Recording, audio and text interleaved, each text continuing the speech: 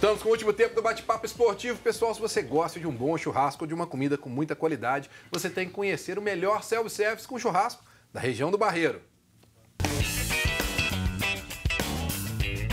Venha conhecer o Aredes, bar e restaurante, o melhor self-service com churrasco da região do Barreiro.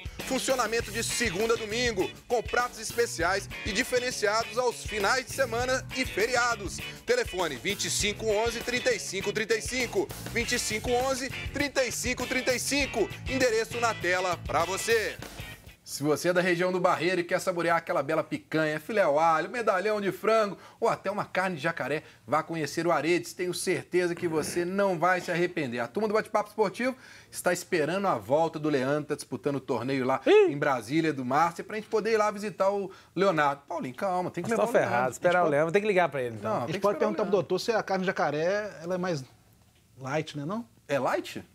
Ela, ela é menos calórica, sim. Aí, ó, tá Aí, vendo? Ah, você já, Picanha, dentre outros. é, já foi lá na, no, no alvo, hein, Fred? claro. Já sabe lá. Tem de jacaré, de rã. Ó, mandar um abraço pro nossa amiga Daelino Dadá, que além de estar sempre lá no Aredes, já mandou uma mensagem pra mim aqui, pô, me arruma uma, uma, uma consulta aí, eu quero que você arrume uma dietinha aí com o doutor Lucas Dadá é o pra famoso mim. Walter, né? É.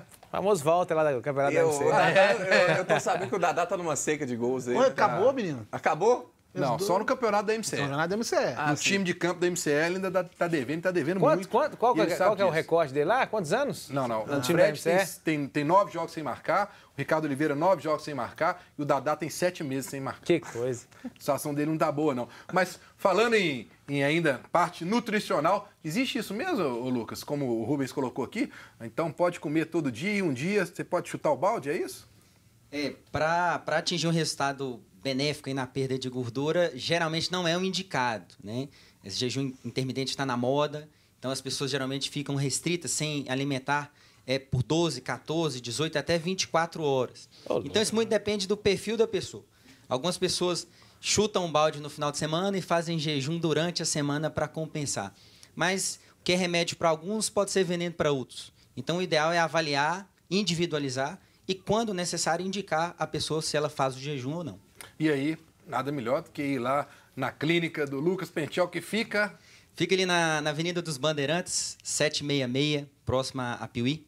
Hoje somos mais de 34 profissionais. Então, desde a cirurgia plástica, eh, nós temos a equipe com oito nutricionistas, tem nutrólogo, médico do esporte, cardiologista. Então, dá para fazer tudo lá na clínica, né? Que a gente está tá num- numa região muito legal ali. E aí, tá convidando todo mundo aqui do programa para ir lá, fazer aí, um teste, né?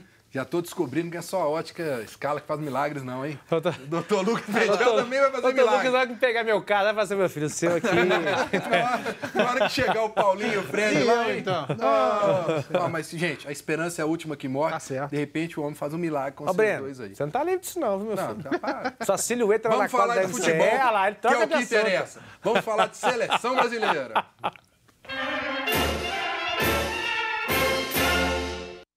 Seleção brasileira amanhã, na Arena Corinthians, às 4 horas da tarde, enfrenta o Peru pela terceira rodada do Grupo A. Estão empatados os dois na liderança, com quatro pontos. O que a gente pode esperar dessa seleção brasileira? Pressionado, o Tite pode até fazer mudanças, né, Fred? A gente tem que esperar futebol, que até agora não demonstrou. E pode acontecer um tríplice empate nesse grupo, né? A gente achava que o Brasil ia ser liderar, ah, Venezuela, Bolívia, Peru. O Peru entre os três é o melhor. E pode acontecer um tríplice empate. Não é difícil não a Venezuela ganhar e o Brasil e, e- empatar. Então, é um momento tenso para o Brasil, sim. O risco de eliminação é muito pequeno, porque até o segundo, terceiro colocado classifica. No campeonato de 12 classificam oito, também se não tá conseguir classificar, pelo amor de Deus, né? Mas tem que mudar. O Everton está pedindo passagem nesse time. Não sei por que alguns jogadores são intocáveis com o Tite. Tem o Paquetá, não tentou nenhum momento, nem entrar algum tempinho para ver como é que o garoto produz em campo. Tem que apostar mais nesse banco de reservas. Tem que fazer mudanças, não demorar a fazer mudanças e analisar melhor o jogo. O Tite tem falhado muito nesses últimos partidos também. Ó, e amanhã também tem seleção brasileira feminina em campo. Duas horas da tarde, pega a França pelas oitavas de final do Mundial. Ô, Rubens, você tá acompanhando as meninas lá, não? Tô sim. É, Eu acredito que a seleção feminina de futebol tá ganhando um espaço, né? É, Até o estilo de jogo, o jogo tem outro ritmo, é diferente, mas é legal, elas entram, né, com o coração mesmo na ponta da chuteira. A Marta craque, né? Não tem o que se falar da Marta. Mas vão pegar uma pedreira. E vão. Vai, A dona de casa. Aí você França. chegou no grande ponto. Vai pegar uma pedreira, é torcer e, quem sabe, para o título mundial acontecer. Porque, Paulinho, a gente sabe que nesse momento aí, decisão, as donas de casa, torcida, vai estar tudo a favor da França. É, mas eu vou torcer muito, viu, Bruno? Torcer muito que essas meninas, elas merecem. É, perderam jogadores importantes antes do torneio. Vou torcer muito para a Marta e a Cristiane, principalmente, que merece. E a Formiga, né? Que jogadora também, 41 anos. A gente tem que lembrar que a Marta começou o campeonato machucada, jogou a segunda partida só o segundo o primeiro tempo, agora que ela está chegando. Tomara que seja o momento auge dela para ela fazer a diferença em relação ao time da França, que é muito bom. Pelo menos menos mal que escapou da Alemanha, podia ser pior ainda. É verdade. Né? A Alemanha aí era muito mais complicado. Eu acho que ainda tem chance sim. Tô torcendo, tô acreditando. Bom, agora então, a última passadinha com a Ana Cláudia e a participação do pessoal de casa.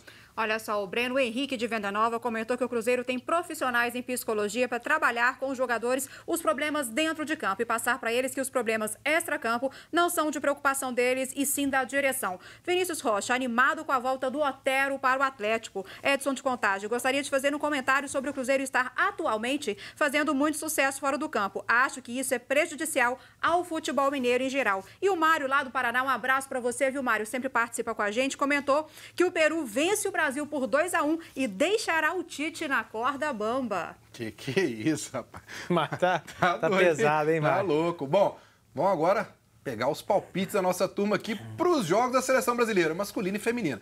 Se liga aí. Bola de Cristal. Oferecimento Bem Protege, a proteção veicular que você confia. As mulheres primeiro, Ana Cláudia, vamos falar então de futebol feminino, seleção brasileira e França. E aí? 2 a 0 Brasil, super otimista. Tá aí, Fred Teixeira. Um a um, vitória nos pênaltis. Nossa senhora, vai ser sofrido, hein? E aí, Rubens? 2x1 Brasil. Ó, fala, Paulinho, um homem pra dizer a verdade. Fala aí, Paulinho. 2x1 Brasil. E aí, Lucas, o que, que você tá postando aí? Também vou de 2x1. Vai, Dois a- vai passar apertado, mas vai. Então aproveita e já manda aí. Seleção brasileira contra o Peru. É, 2x0 Brasil. O Brasil vai entrar com mudanças. Eu acho que o Everton vem aí. Talvez o Gabriel Jesus também. Mas eu acho que o time vai vir diferente, porque precisa dessa vitória aí para alavancar e rumo ao título. Paulinho. 3x2 Brasil. Pô, mas todo mundo quer fazer torcedor brasileiro sofrer, pô. Pô, e aí? Eu vou nos 3x1. 3x1? É. Fred, 2 a 1 agora é ela. Que é o poço de otimismo, sem sofrimento, hein, Ana? Olha, Breno, eu realmente sou muito otimista, mas eu acho que vai dar 1 a 0 pro Brasil, tá? Só? É. Tá muito otimista. Ah, mas tá bom, Imagina se não tivesse. Pelo menos uma vitória. Grande Valeu, Fred. Breno. Valeu, obrigado. Obrigado. pela participação. Paulinho, obrigado. Obrigado, Rubens. Lucas, obrigado aí pela sua participação também. Bom, quem perdeu o trecho do programa tem reprise 11 horas da noite, enquanto marcado segunda-feira, 1 hora da tarde, aqui na TV Horizonte. Grande abraço a todos e um bom final de semana.